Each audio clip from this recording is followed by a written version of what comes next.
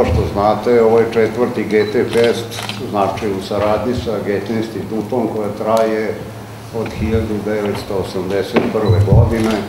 Ovaj, u, I to je stvarno ovaj, primer jedne uzorne saradnje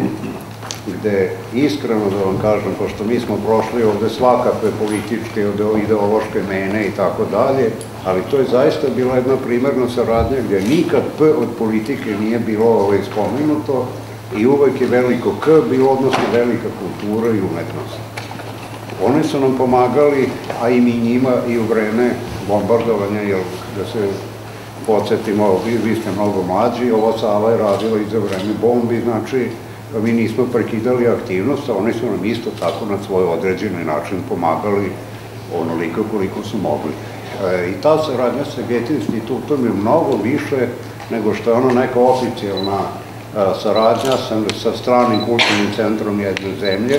jer oni u nama vide prijatelje i mi u njima i prema tome e, mi smo godinama stekli jedan zaista veliki benefit da naše ideje i predlozi mnogo brže ovaj, mogu da se realizuju nego, nego, da su,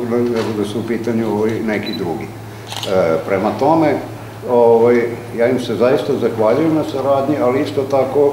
ovaj, ja mogu isto, ovaj, isto tako da kažem da su, da i Getty institut ovaj, stvorio u Novom Sadu svoju zaista finu i dobru publiku. E, naravno, jedan deo te publike su mnogi od vas e, koji su ovaj, učili ili koji uče nemački jezik i kojima ovo pomaže na jedan određeni način ovaj, da, se, da se obrazujete. Ali, sa druge strane, kad pogledate šta je nemački film i nemačka kultura, setite se u istoriji kinematografije,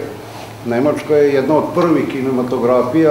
koje odlučujuće doprinela razvitku filma. E sad, pošto smo mi navikli, znate, današnja stvarnost u, u domenu filma je amerikanizirana onako do bola i naravno već se tvrdi da nisu ni, ni braći Limier ta koji su prvi ono u Parizu pustili ovaj, filmove, nego to je naravno neko u Americi ovaj, uradio i tako dalje. Isto tako, recimo, prvi zvuk na filmu mi pričamo o Al Johnsonu i ovaj, jazz pevaču i tako dalje, koji je firma Warner Bros. pustila, međutim, pet godina pre toga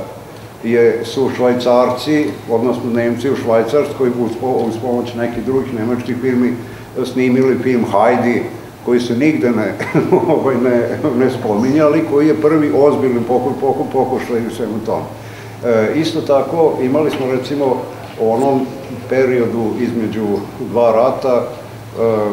zaista uzornu kinematografiju gde su bili Fritz Lang i, i ovaj, mnogi, i Murnau i mnogi drugi i naravno jedan da je autor se kasnije opredelio za fašizam, što naravno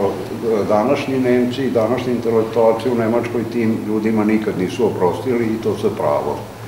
E, posle drugog svetskog rata Nemačka je doživala neku vrstu filmske e, kataklizme.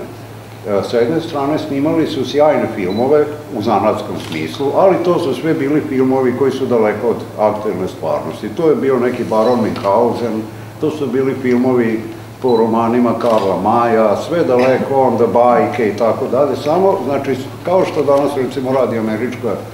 klasična kinematografija, da recimo davno nismo videli, na primjer, jedan divan američki film koji ima zaista dobru socijalnu temu Sve su neki efekti, onda Bruce Willis ide na devetu planetu da reši vaš i moj neki problem, umesto da to ovaj, uradimo ovaj, u životu. E, tako, tek negde 60. godina je grupa sjajnih autora otprilike rešila da progovori i da, da iskoristi jednu slobodu filma i naravno to su bili Wenders, Schlendorf, uh, Fassbinder, Herzog ovaj, i drugi i naš prijatelj Ginter, Hans Ginter Plaum, koji, koji su činili jednu zaista lepu uh, grupu, gde su ovi su snimali filmove, a Hans Ginter Plaum je bio sjajan kritičar koji je to pratio na jedan ovaj, određeni način, tako da, je, da su svi oni zajedno imali zaista uh, veliki uspeh. Uh, da kažem, naša saradnja sa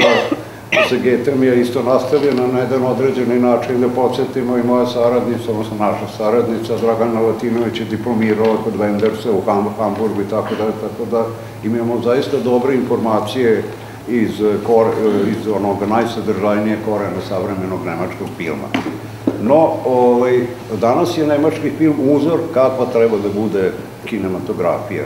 Gde imate i visoko komercijalnih filmova, ali isto tako imate i filmova e, gde recimo san bioskopa da bude 20 ljudi i tako dalje i ovaj, isto tako ovaj, oni vrše različite tehničke ovaj, usluge u jednom od najvećih filmskih studija na svetu, to vam je u Potsdamu kraj Berlina, Babelsberg, to su studiji bivše UPE ovaj, Nemačke, koji su još sada osavremenjeni, pa jednom ako vas put nanese u Potsdam, uh, svratite malo da vidite kako to izgleda. To je zaista veličanstveno. No, ja namerno neću da vam pričam ništa ovde o, ovim filmovima, zato što ovaj film oduzeo čar gledanja i tako dalje, osim da skrenem pažnju